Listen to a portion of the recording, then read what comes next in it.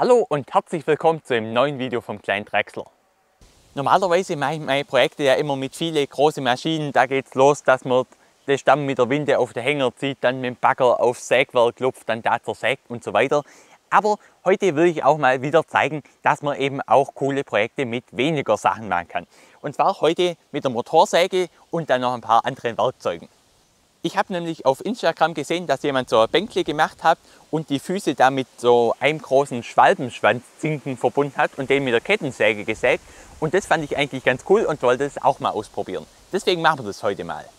Damit es aber nicht ganz langweilig ist, mache ich das heute mit meiner neuen Husqvarna 550 Mark II, weil das ist ja jetzt das erste Projekt, wo ich die benutze. Ich habe die Säge auch schon vorher ein paar Wochen im Einsatz gehabt, aber jetzt noch nie was gefilmt. Also machen wir das heute mal.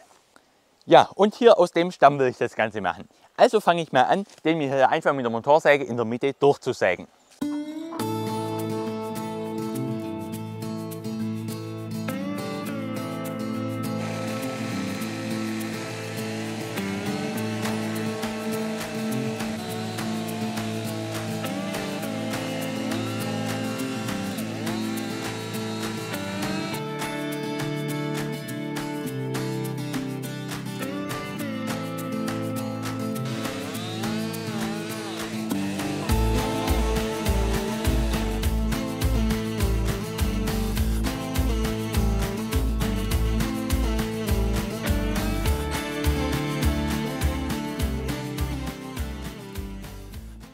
Ihr seht, der Stamm ist in der Mitte durch, ist auch ziemlich gut geworden. Natürlich hier jetzt nicht perfekt, ich muss zugeben, ich bin ein bisschen aus der Übung, weil ich habe das jetzt schon länger nicht mehr gemacht, weil mit der Blockmann-Säge geht eben doch ein bisschen schneller und einfacher. Aber wenn man das nicht hat, geht es so auch prima und hat jetzt auch nicht ewig gedauert. Also bis ich den heimgefahren hätte und da gesägt, hätte auf jeden Fall länger gedauert.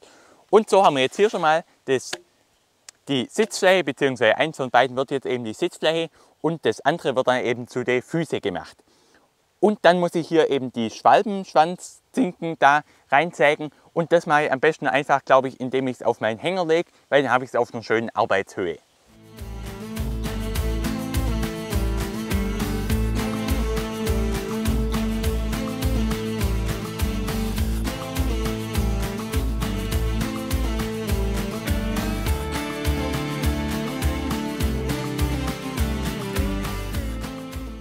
Und jetzt habe ich mir hier dann einfach mal so einen Schwalbenschwanz aufgezeichnet.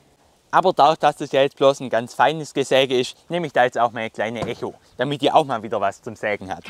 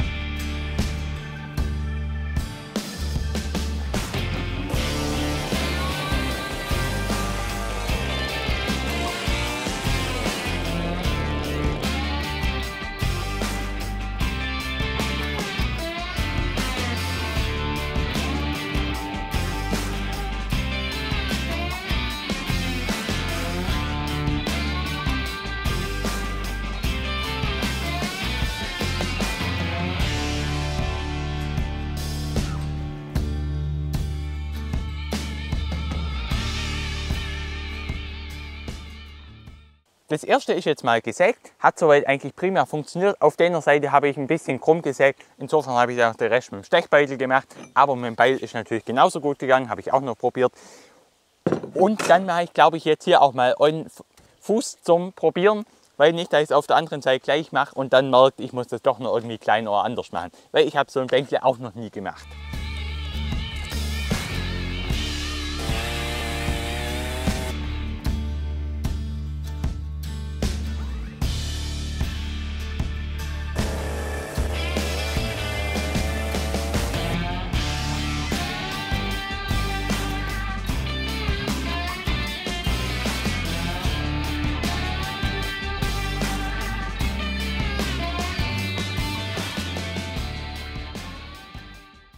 So, jetzt müssen wir doch tanken. Sprit ist leer. Und dazu nehme ich jetzt natürlich meinen Sägenspezi Schnelltankkanister. Und was eben gut ist, hier die Schnelltanker sind relativ klein, weil hier die Echo hat ja wirkliche Mini-Tankstutzen. Also ich glaube, arg viel kleinere gibt es gar nicht mehr. Und die meisten von den Kanister bzw. von den Schnelltanker passen da eben nicht. Aber der hier passt gerade noch so rein.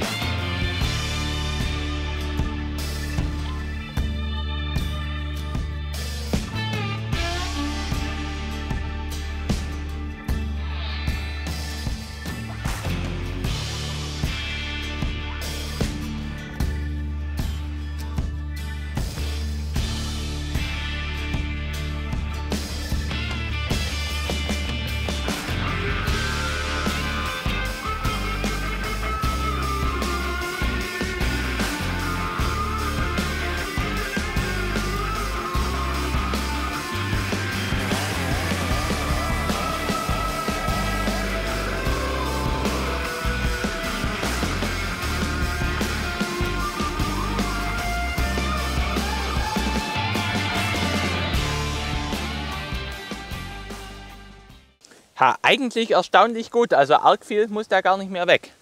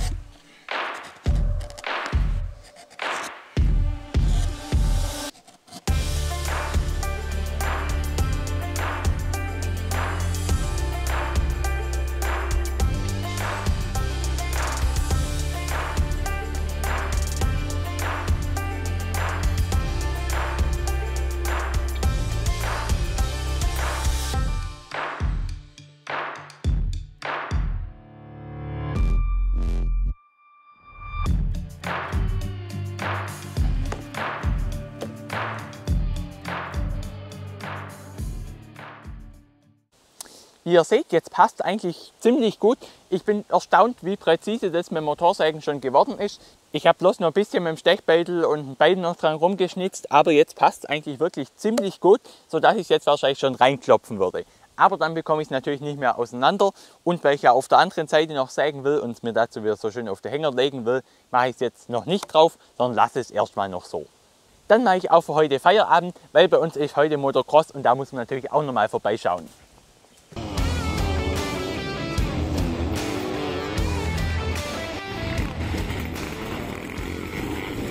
So, jetzt geht es an dem Bänkle weiter, aber wie ihr seht beim Motocross am Grillwurststand hat es ein bisschen länger gedauert, weil jetzt hat es nämlich auf den Bäumen gar nicht mehr so arg viele Blätter und alles ist schon recht herbstlich. Aber jetzt will ich unbedingt vor dem Winter noch das Bänkle fertig kriegen. Zumal es ja eigentlich auch schon drei Viertel fertig ist, bloß noch das letzte Bein fehlt. Also los geht's!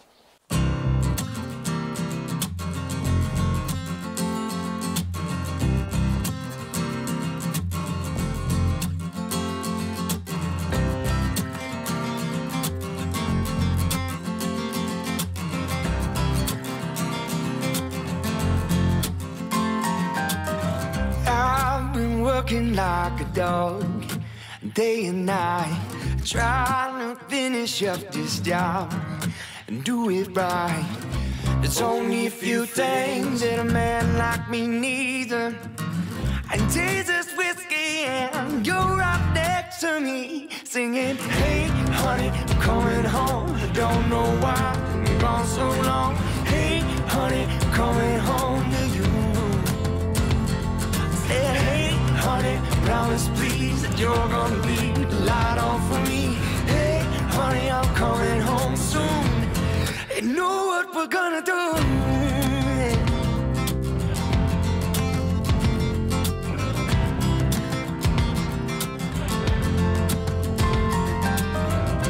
Heaven knows that you put your time into him.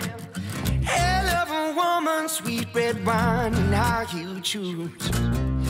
Let's get one thing straight. It ain't about what you do for me. Well, I'm gonna love you, and I love you loving me. Singing, hey, honey, coming home. I don't know why I've been gone so long. Hey, honey, I'm coming home to you. Said, hey, honey, promise please that you're gonna be the light on for me. Hey, honey, I'm coming home soon we're gonna do.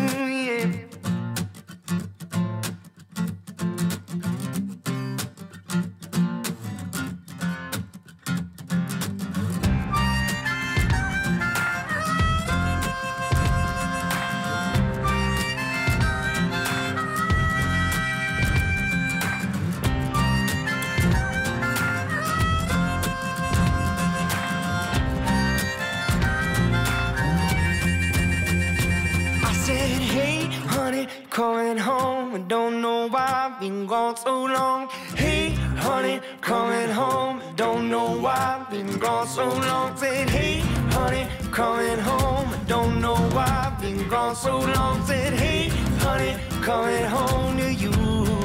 Yeah, hey, honey, I'm coming home. I don't know why I've been gone so long.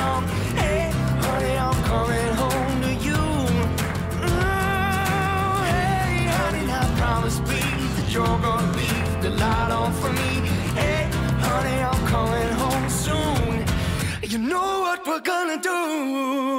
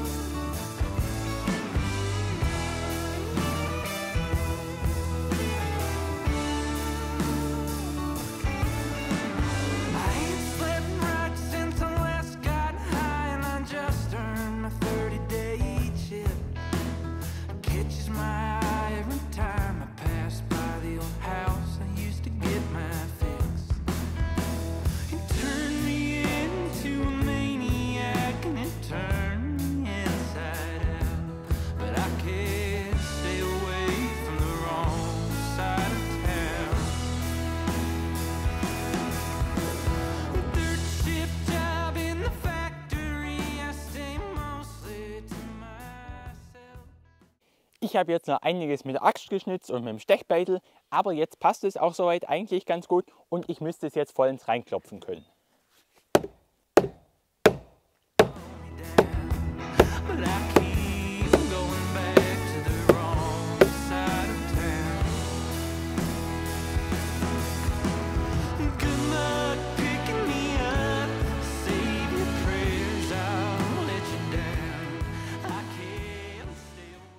Jetzt ist mal vollends drin und gefällt mir auf jeden Fall richtig gut. Und hier, das ist jetzt auch extrem genau geworden. Also hier an den Seiten sehe ich überhaupt gar keinen Spalt, was mich echt wundert, weil ich ja alles bloß freihand mit der Axt gemacht habe. Aber habe mir eben meine Zeit genommen, habe oft zwischenprobiert und von oben sieht es jetzt richtig, richtig gut aus.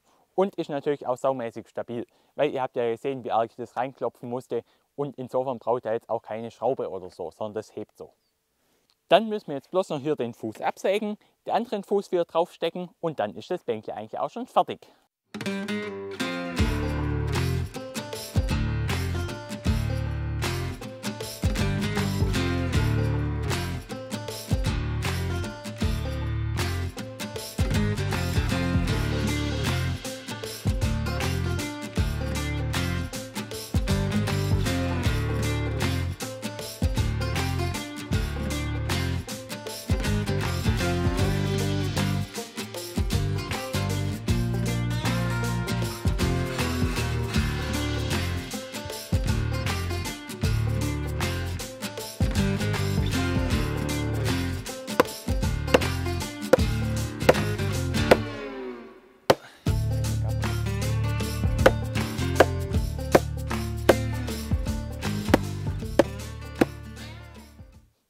Ist das Bänkle mal zusammen. Jetzt ist das Bänkle dann auch schon fertig. Auf der einen Seite, wo ich es jetzt als erstes gesägt hatte, ist jetzt doch nicht mehr so gut zusammengegangen, weil sie es eben doch schon in der Zeit ein bisschen verzogen hatte und so. Insofern mussten wir da jetzt noch nachschlitzen und ist jetzt auch nicht ganz perfekt. Aber für ein Bänkle auf jeden Fall gut. Und natürlich das Ganze ist auch so stabil, auch dass es ja so fest da reingeklopft ist. Das bewegt sich nirgendwo mehr hin. Dann stellen wir es mal irgendwo in Sonne hin, weil hier will natürlich keiner sitzen.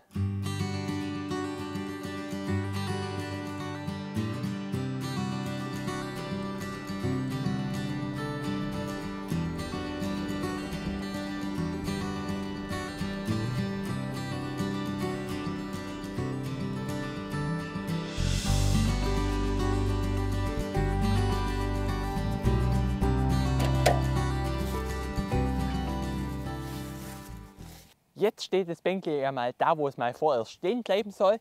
Ich bin eigentlich auch damit ziemlich zufrieden, wie es hier rausgekommen ist. Gerade mit der Seite, wo ich heute gemacht habe, bin ich echt top zufrieden, weil das echt richtig genau und präzise geworden ist. Eventuell muss ich mal schauen, ob ich das einfach nochmal abhobel, damit es noch ein bisschen schöner aussieht. Aber da fehlt mir jetzt heute die Zeit, weil die Sonne ist schon wieder recht tief und ich muss noch meinen Apfelkuchen probieren, ob der auch was geworden ist. Insofern bleibt es jetzt für heute mal so. Und ich muss schon sagen, war eigentlich echt mal eine richtig interessante oder witzige Sache, mal hier die Zapfen- bzw. Schwalbenschwanzverbindung mit der Motorsäge und dem Beil schnitzen. Das ist ja schon irgendwie was Besonderes. Normalerweise Schwalbenschwanzding macht man ja eher in klein, dann schön mit der Säge und so. Aber mal so in groß ist auf jeden Fall mal was anderes. Und ihr habt gesehen, man kann auch mit relativ einfachen Mitteln irgendwie coole Projekte machen, die wo richtig Spaß machen, weil mit einer Motorsäge und, einer, und einem richtig schönen scharfen Beil kriegt man eigentlich auch schon einiges gemacht. Und hier an sowas kann man sich dann doch auch ein bisschen ausprobieren und schauen, kriegt man so eine Zapfenverbindung bzw. Schwalbenschwanzverbindung hin, wie genau wird es und macht eigentlich auf jeden Fall richtig Spaß. Also kann ich nur empfehlen.